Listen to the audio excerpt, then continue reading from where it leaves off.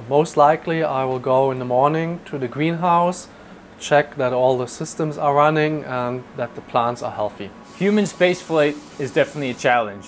You need plants that grow fast, that need little uh, heat, little light, and where you don't throw anything uh, away. We are bringing together all the different controlled environment agriculture technologies into one 40-foot container. It's all about uh, the taste. We're talking about human lives that need food, they need fiber, they need nutrients to live.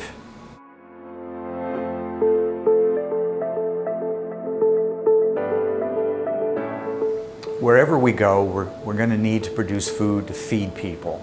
It will be very difficult, particularly in long duration and very distant travel to other planets, to continuously bring food and supplies.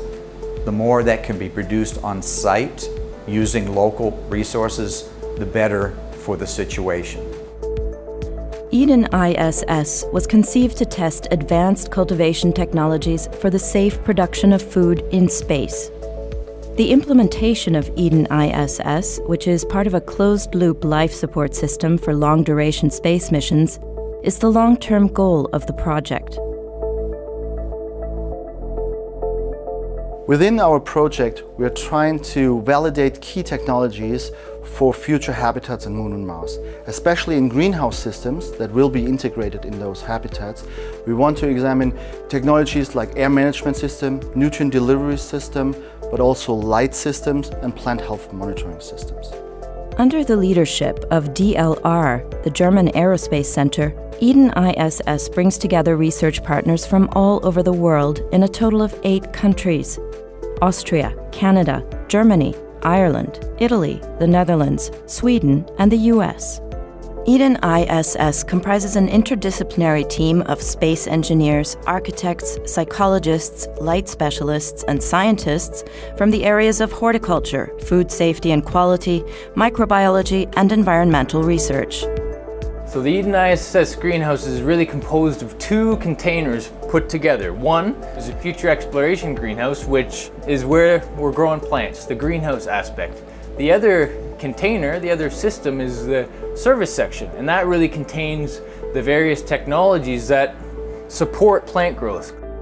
The service section houses the International Standard Payload Rack, ISPR, the ISPR demonstrates safe food production in a confined environment under microgravity conditions such as those on the International Space Station, ISS.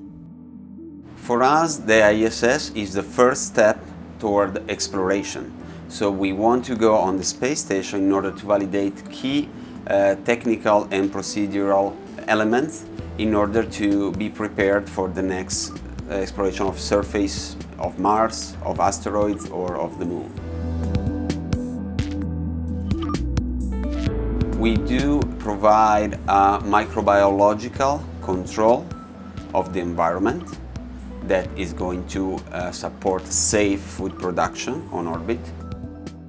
With the Eden project, we have the possibility to modulate uh, the growing environment of the plant in order to have the best quality in nutritional terms for the astronauts and for the crew that we eat those produce. An important component is the atmosphere management system. So the atmospheric management system allows us to control not just the temperature, uh, humidity, and the CO2, the carbon dioxide which plants need to grow, but it can also help us remove some of the gases that might accumulate in, in this box. The nutrient delivery system ensures that the plant roots in the trays get nutrients and water. So there's misting sprayers, uh, there's a whole range of pumps using dynamic systems, pumps to move the water into the root zone and take it away and recycle it. And that's the other thing. Everything is recycled because of course in space there's no such thing as waste. The nutrient solution consists of carefully selected ingredients.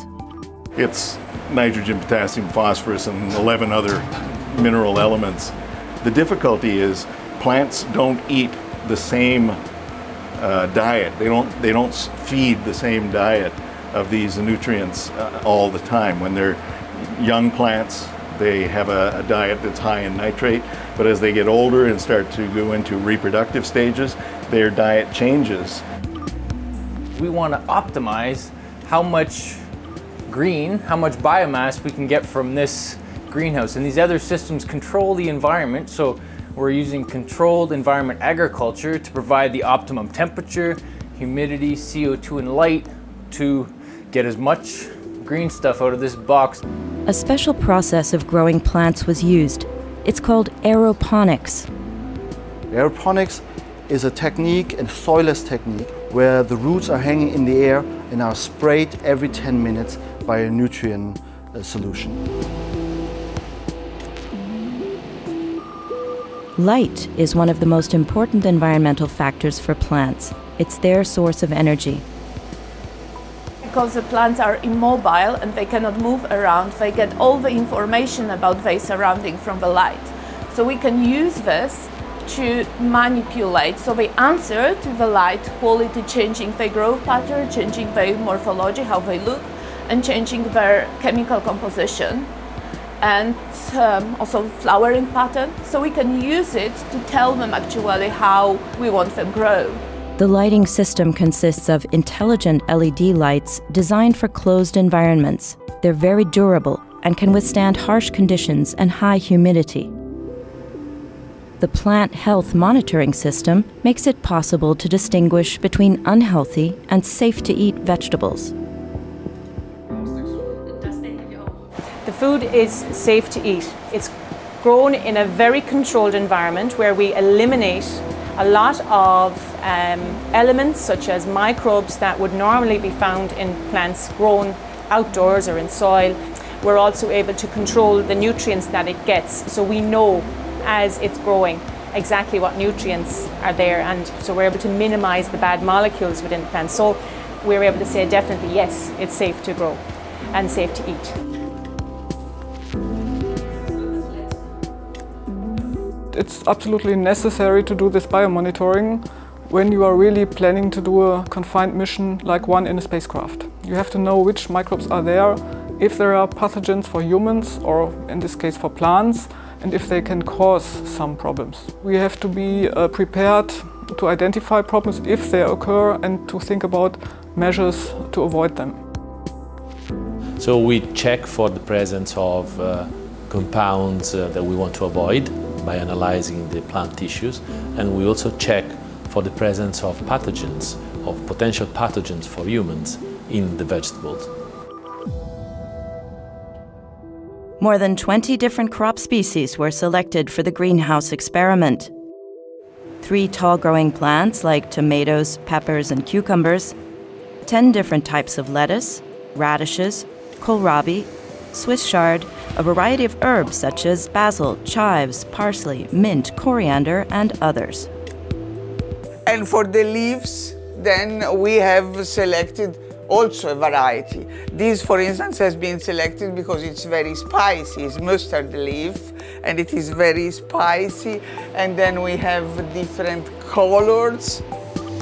How the variety and the freshness and have an influence of the psychology. So it's not only a question of resource use efficiency. The Eden ISS team studied how the variety of vegetables influenced human psychology in terms of taste and texture. I think this will be the first time that a crew has been trained on how to determine exactly how a crop should taste because when we look at flavour, flavour is linked back to the antioxidants, for example. If it doesn't taste right, that's also an indication that the nutrition is not right. So this is a huge innovation in that, in that the crew themselves become the testers and are able to give us the feedback that we can match to all of the analytical data that we will do when we get the dried plants back.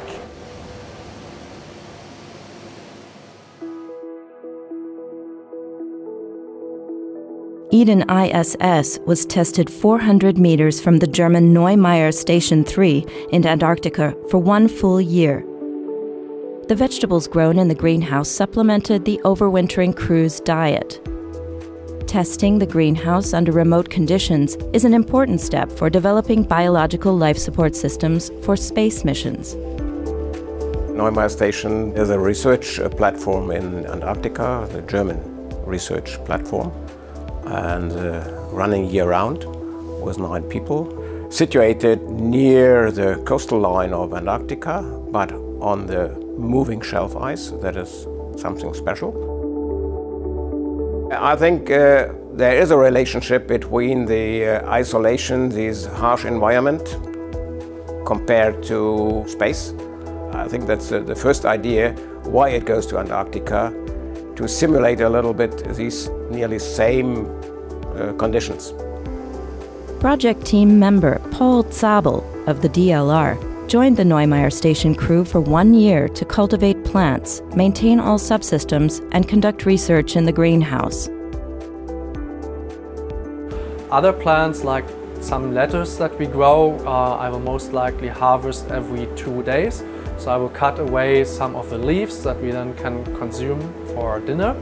Then there are other plants like radish which don't need much caring. They, they just grow by themselves and I only have to check that they are doing well.